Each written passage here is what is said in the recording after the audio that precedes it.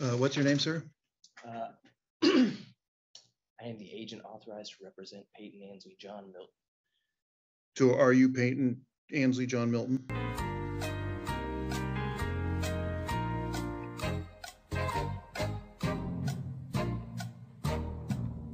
You- You don't know?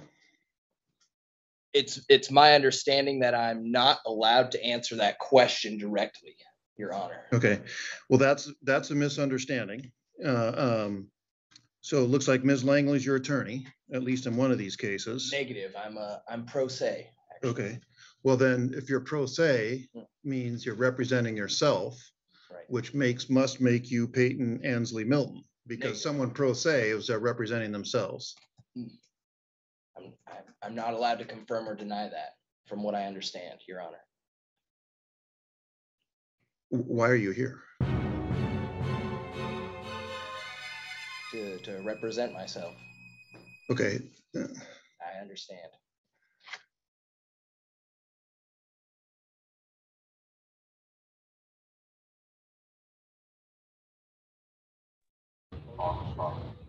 hang on just a second. Sure.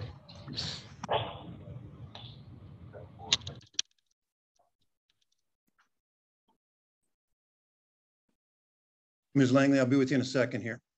Thank you, Your Honor. I want to take a seat. Okay, before we get started, I'm going to talk for a minute. All right? Absolutely. So Peyton Milton, you kind of, we kind of went round and round with each other about whether you are or whether you aren't Peyton Milton. I can only conclude that you are Peyton uh, Milton simply because at some point you said you're here to represent yourself. Peyton Milton is the person charged. So if you're here representing yourself, you must be representing Peyton Milton. You must be Peyton Milton. And so, Well, so I'm not done talking yet. Absolutely. And so, um, just in looking things here, um, Peyton Milton has a few issues going on.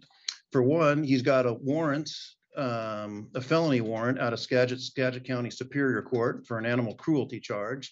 He needs to take care of that. Hmm. He's also got a DUI out of, uh, Thurston County District Court. And, um, I'm gonna tell you whether or not a court date has been set for that or not.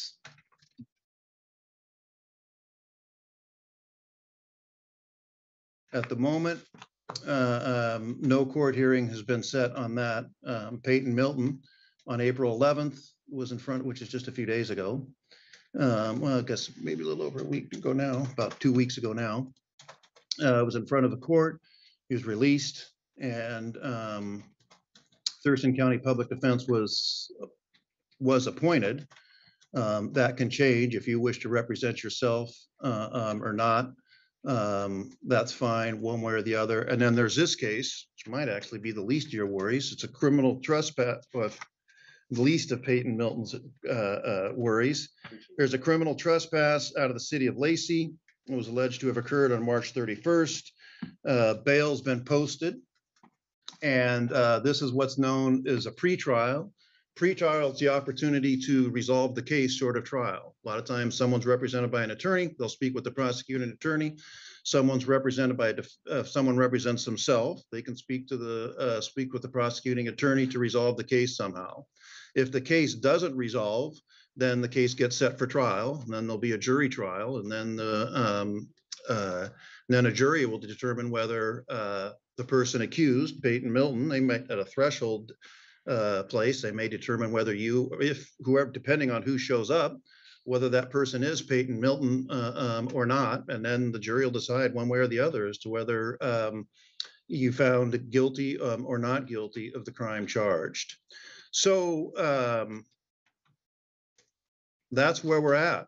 And if, uh, um, you know, you're here, um, again, you said you're representing yourself, and if you want to resolve the case here, we, I'll give you a chance to speak with the, the city. If not, we're going to set it on the tri- trial track.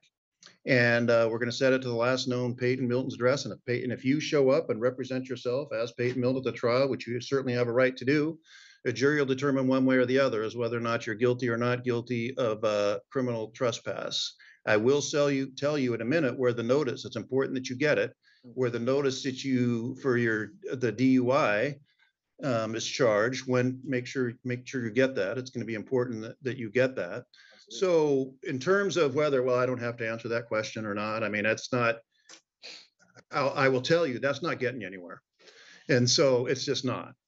And so I guess we, what I want to know from you is where we're going to go for this case today. Is this case going to resolve today or does it need to be set for trial? Well, I am looking towards a resolution. Unfortunately, I have not been able to contact Matthew Sharp as Okay. of yet, despite reaching out to him. Um, I have some ex- exhibition lists here to, uh, put in, uh. Okay, so just, just, you don't, you don't need to raise your voice. You can just, Sure, so just. um, the, in terms of, th- they're exhibits, not exhibitions. Ah, But exhibits, uh, um, you know, those are for trial, if you want to convince the jury. And so if you want, if you, if if you're of the position you didn't, um, you know, give you an opportunity to speak with him now, you can step out, go off the record, and if you can resolve the case here now, that's fine. If not, then we'll tee it up for jury trial and go from there. You can stay seated. Okay. You don't need to get up.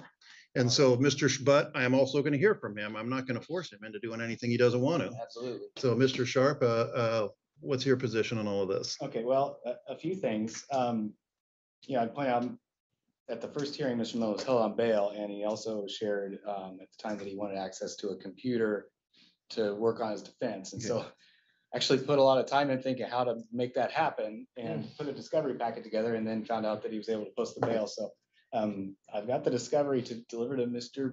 Mil- Mr. Peyton Milton if that's who this is and he'll take it. Um, we printed off everything that can be printed off. There were a few things that are video. You can't print a video, of course, so they're on a USB drive, hopefully in a universal of enough of a format. Um, and being out, I, I trust that Mr. Milton can now access a computer to do what he's got to do with that. Uh, Well, so- again, I'm gonna, I'm gonna stop you there for a second Uh-huh. because I didn't realize where we were on Discovery. And um, he can give that to you, but you, this is where you do gotta admit you're Peyton Milton. Because he's got a responsibility to give that either to the defendant or the defendant's attorney. And, uh, um, and if you, if you want that discovery right now, you, again, then you do have to agree that you're Peyton Milton. I am the agent authorized to represent him. No, that's not, that's, that's, qualify again, you don't, you, okay, look, look, I- Um, I again, have. okay, stop, stop, Sure, sure. stop, okay? sure. So, uh, um, Respect to your honor. thank you. Being the agent for Peyton Milton isn't good enough. Unless you're a practicing, unless you're an attorney with a bar number, then you can represent Peyton Milton. You're either Peyton Milton representing yourself or a third person representing Peyton, Mil- with which you can get the discovery. If you're, if you're a third person representing, uh, not Peyton Milton, representing Peyton Milton, then you don't, unless you're an attorney, then you don't get discovery. So that's where we're at. Well, unfortunately, your honor, if I am a layman as I claim to be, Mm-hmm. and as a layman, I'm not made to understand the law as yourself, your honor, and Matthew Sharp over here as an attorney who has passed the bar, then I'm not really certain uh, where to proceed as a as being in front of your capacity as a neutral arbiter. This is uh, I'm simply here to put in the exhibit list for who is known as Peyton Ansley John Milton in all capital letters on the court docket in front of you so that my bail would not be revoked and uh, I would have to be incarcerated and refuse my reasonable accommodations to defend myself pro se as the agent authorized to represent Peyton Ansley John Milton in all capital letters. Good city auditor, an What's idea. Uh, I'll point out, last time I was at a hearing with Mr. Milton, we were working on just these two cases with Lacey. So there, there's a second one with Lacey, Your Honor, if you didn't catch that. There's a Mm. salt case that's on a stipulated order of continuance from, Yes. from just a, a month or two ago. But since then, Did he have an attorney on that? no, Okay, that, that was, well, Miss Langley was originally, she's no longer. okay, but did she sign off on that, on that agreement? Was she Yes. represent him for the resolution? Yes, Your Okay, Honor. all right. Um, Was that, and so, and you agree that you entered that it on resolution? March twenty-second. Are you speaking with me or Matthew? Yes. Um, I have paperwork here that has no signatures from anybody in regards to the simple assault and the SOC. I've just re- acquired that today as a matter of fact, so So all that's coming as news to you? that's a good question. Um, I do know that I have a motion here to suppress an SOC dated on three twenty-two. Um, signed under duress of life, liberty, and freedom being threatened without just cause. So, Your Honor, I'm sorry, I was in the middle of the thought there. Since that all happened, now there are the state charges too, and that's maybe more serious, the DUI and the obstructing charge. And I understand counsel was appointed there. Maybe I'm mistaken. That's what the docket says. It does say that. So I was going to suggest the court inquire with Mr. Milton again, because it's more complex now with state cases involved. The stakes are higher for sure. Um, whether he still wants to proceed pro se, I mean, I'm hearing, you know, the the disadvantage of being pro se is real. Um, but if there's counsel on the state case, maybe that's an option here. Also standby counsel may be a beneficial option. I, I, there was some obvious friction with Ms. Langley, but she's not the only attorney available. Right.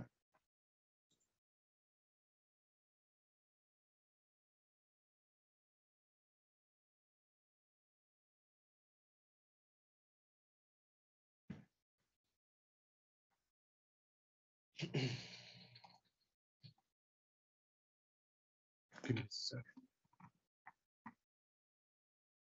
What's alleged to have happened in the criminal trespass? I'm just curious. Allegations. Uh, Being on the premises at a convenience store. At where? When, Convenience. when he'd been re- trespassed That's the allegation. allegedly? These are just allegations. Yeah, absolutely.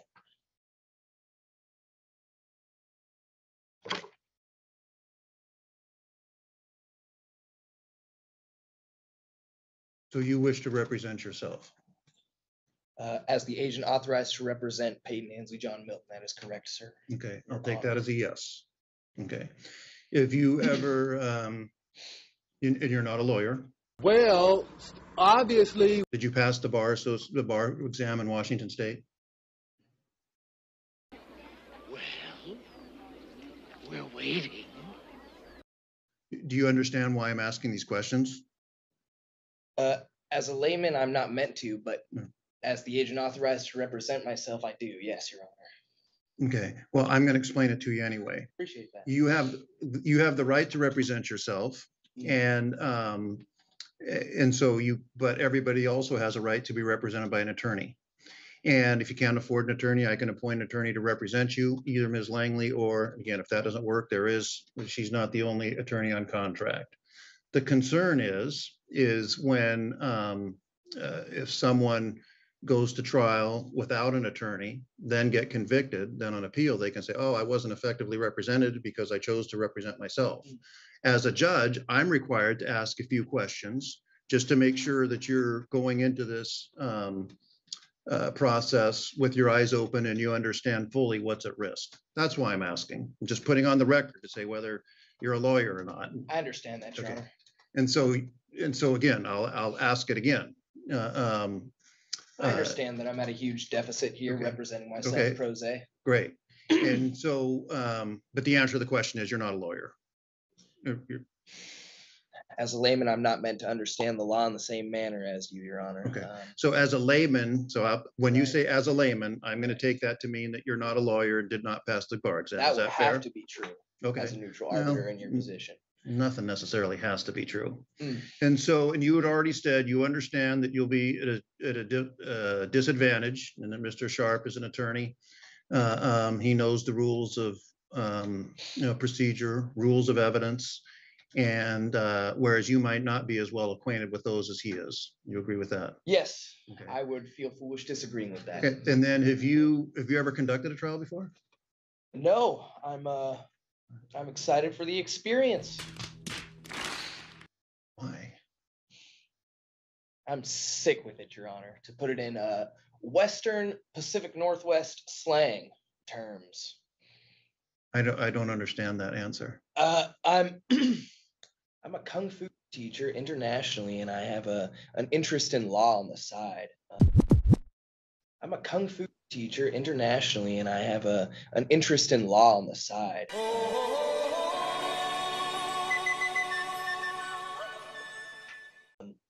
my my passport that was stolen from me uh, the same night that I was under arrest for the first simple assault that is being brought up today concerned me because the same day I was uh, neglected having somebody who had broken the law against me search from the same officer that arrested me for defending a senior citizen which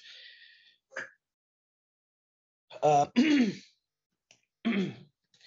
I uh, I regret to uh, to digress or inform that I'm not a criminal. You know, I'm I'm really just going through this because I have faith in the system that if I'm not doing anything against the community standard that should be being held up by people in the position of level zero government sovereign citizen officials.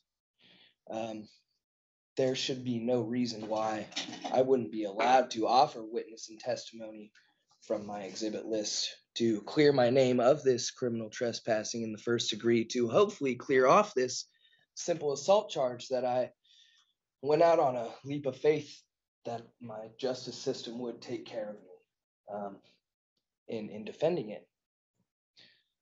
Does that does that answer the question? It, it doesn't. No, I just Because let around a me, let me, because let me, here, here's, here's my perspective on this, and we'll, we'll get through this here, Mm. I, um, pretty quickly, because I have an idea of what's gonna happen here today. Um. Well, first of all, let me, let me back up a little bit. Are you aware that Peyton Milton had a warrant, a felony warrant out of Skagit County? I've never been officially made aware of this Okay. by any. Consider yourself, ma- make aware of it now. You Sure. have that warrant. Sure. You need to take care of that. Yes. Um, and, uh.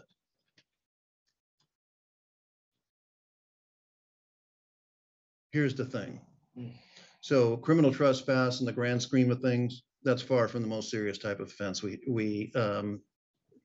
See around here. DUI is a little bit more serious. That carries with it some fairly. More. Harsh consequences, I guess, the way it is, the way it is. And most people, you have said yourself a couple of times, well, as a layman, I'm really not familiar with the, with the court. Most people, mm, pretty much all people in your situation, when they come in a situation where they're not familiar how things work and um, lay people who aren't uh, as sophisticated or understanding the rules of evidence and sophisticated in their knowledge. You might be very sophisticated, but sophisticated knowledge or awareness of the rules of evidence, rules of crimi- criminal procedure and so forth, you know, when they get the opportunity to get an attorney, they jump at it because this attorney's been through here on a daily basis. And just let me finish, please. I let you finish. So let me.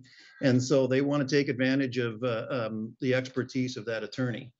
And again, the attorneys who are public defense, they're here every day. They may not seem like it, but they seen just about everything under the sun, including this, you know, the routine about red agents and on their behalf and all that sort of stuff. This isn't news to me, Mr. Sharp, or anyone else who may be appointed to represent you. I've yet to see it be successful, though. Who knows? You might be the first. I doubt it. But anyway, most people take advantage of that. But you do have the right to represent yourself if, if you wish to do that.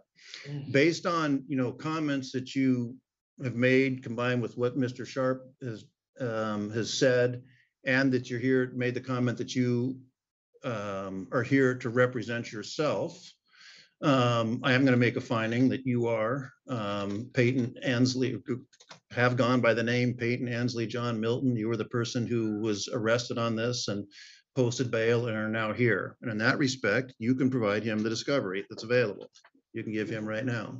Thank you. I don't see Mr. Sharp unless you disagree with me, based on everything I've seen thus far. I tend to doubt any sort of resolution is going to be reached here today. And so I would just be inclined to set this for trial and then uh, we'll go from there. And if you change your mind about an attorney, uh, um, you can you can do that. So the address we have for Peyton Milton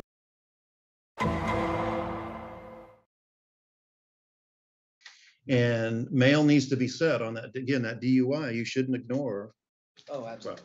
good, go, don't go to sleep on that DUI. And again, I don't know what happened in Skagit County. I can look here in a minute.